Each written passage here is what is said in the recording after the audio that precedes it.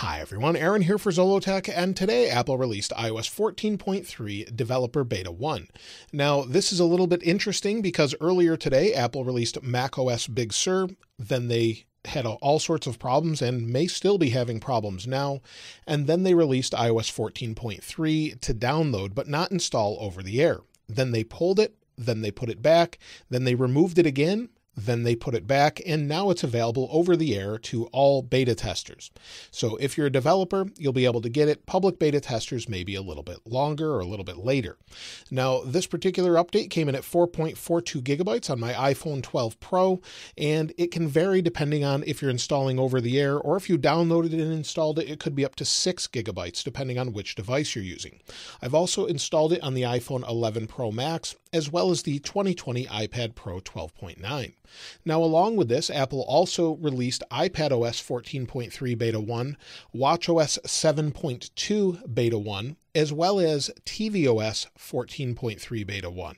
So a lot of different updates came out today. And then there's also updates for not only macOS Big Sur, but also updates to different apps such as iWork and Final Cut and all, sort, all sorts of things in preparation for the new Macs coming out this coming week. Now, before we take a look at what's new, let's go ahead and take a look at the build numbers. So we'll go to Settings, then we'll go down to General, then About, now, as you can see, the build number is 18C5044F, and this particular build does add a couple new features, and the first one that it adds is a modem update.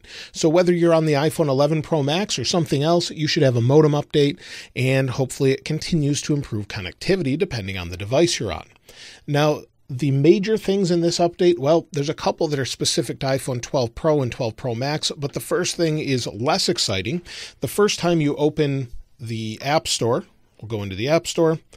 It will give you a new pop up saying what's new on the App Store and Arcade. App privacy details. So, this is an all new pop up, and it says Learn how developers may handle your data on app product pages so you can protect your privacy. You hit continue, and you're in. So, nothing particularly exciting there, but it's a new splash screen. I got it on each one of these devices after I updated. Now, the major feature that's coming to the iPhone 12 Pro and 12 Pro Max is Apple Pro RAW. And as you can see on the iPhone 12 Pro, I opened the camera and now it says RAW with a little line through it. If I tap on it, I can take a RAW photo, which will allow me to better manipulate it and change some of its qualities later on. Now, the nice thing is, after you take Apple Pro RAW photos, they look just the same as they would before, but now you have better control. If you want to export this to your Mac or even do it on your iPhone, you can better edit this and have better control, whether that be in Pixelmator Pro or maybe just iPhoto here, or Photos rather. And if we go in, iPhoto hasn't been out in a while. So if we go in here, we can greatly manipulate this, go in, change everything from brilliance. We can change noise reduction, all sorts of things, and then we can save the change or not save it. But we should have better control, just like you would if you took a raw photo with an SLR or mirrorless camera.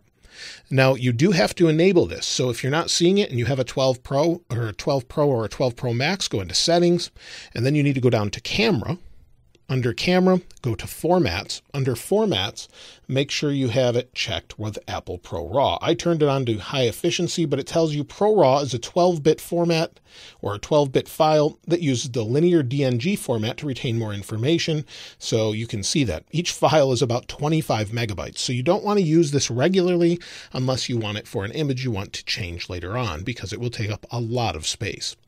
Now, other than that, there's a new section in the Health app. So if we go into Health, go in here, go to Browse, there's a new pregnancy section in here. And now there's other data, and you can find a bunch of other things. But if you search for pregnancy, you'll find it if you're not seeing it.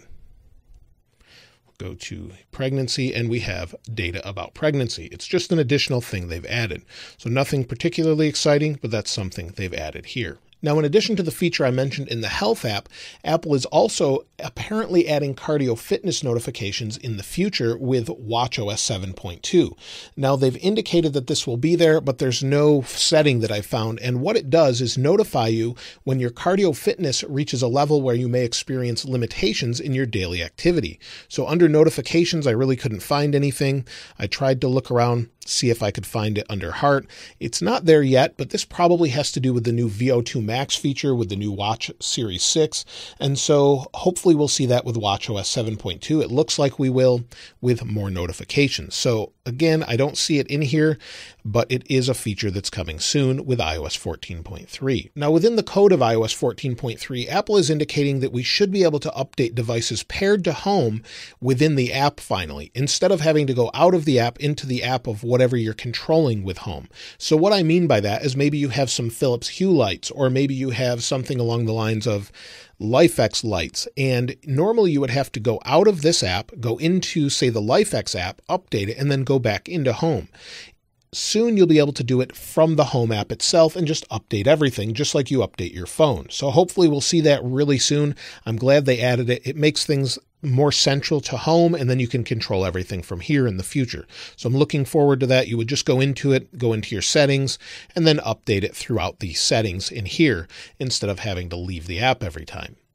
Now, additionally, Apple has said there's a new feature for app clips by scanning app clip codes using the camera you should be able to use app clips soon. I haven't seen any indications of app clips, even though this was mentioned with iOS 14, but it's added to 14.3, so we should see that pretty soon. Now, Apple has also updated weather in iOS 14.3 with health recommendations provided for specific air quality levels in the US, UK, Germany, India, and Mexico provided by Breezometer. Also, air quality data will also be available in China very soon. So you'll see I have air quality here. It says good, but this can change depending on the season, depending on pollen, and all sorts of things. So this will be updated for all of those regions with iOS 14.3 and recommendations as well. Now, in addition to what I've already mentioned, Apple added support for the new PlayStation DualSense wireless controller for the PS5. So if you have one of those, you'll be able to use it through your iPhone for gaming now, and also the Luna controller for Amazon's gaming service service. You can use either of those devices to control either your iPad or your iPhone with this update. Now, aside from that, there's an interesting few things that were found in the code thanks to my friend Steve Moser. So let's go into Twitter and you can see one of the things he found was a new pairing video in the Find My app in iOS 14.3 Beta 1. So you can see it has what looks like it's finding different things such as headphones. Maybe those are the new Apple Studio headphones, a backpack, and maybe a suitcase for traveling. So maybe we'll have AirTags coming sooner than we thought, but you get the idea. It's looking like there's a new animation looking specifically for different things. So that's new. And I look forward to that whenever they release it. Now, as far as anything else new in this, well, I haven't found anything specific other than what I've mentioned already, but performance so far feels pretty good. Of course, I'm using it on one of the newest phones, so it feels fine. Now, as far as anything new on the iPad Pro, well, there's not really anything new other than what I mentioned with the PS5 controllers, for example.